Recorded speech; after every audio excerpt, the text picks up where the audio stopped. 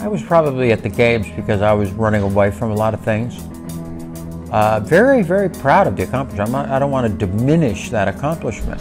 The last few days of doing this shoot was about my life and who I am as a person. It's not about the fanfare. It's not about people cheering in the stadium. It's not about going down the street and everybody giving you that a boy, Bruce, pat on the back. Okay? This is about your life.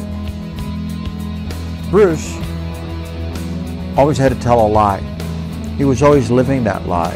Every day, he always had a secret from morning till night.